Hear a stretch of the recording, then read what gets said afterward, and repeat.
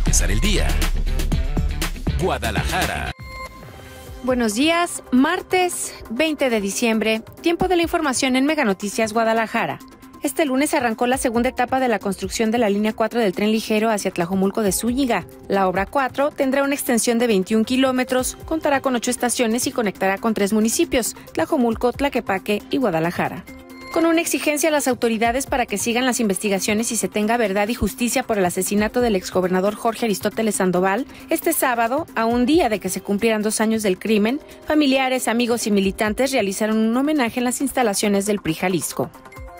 La decisión del gobierno federal de mudar a los adultos mayores de las instituciones privadas al Banco del Bienestar para que reciban su pensión podría traer problemas, pues la capacidad de esta institución, que además tiene un rezago importante en la construcción de sucursales, no es suficiente para soportar a más de 10 millones de usuarios nuevos. El año próximo se invertirán 15 millones de pesos por parte del gobierno del estado para la rehabilitación del predio de la Cajilota que actualmente funciona como planta de transferencia. El alcalde de Tlajomulco, Salvador Zamora, detalló que la idea se trabajará en la limpieza del lugar para evitar el derrame de lixiviados que hasta el momento, dijo, no se han presentado. Síganos en Meganoticias GDL, toda la información en meganoticias.mx. Para empezar el día, Guadalajara.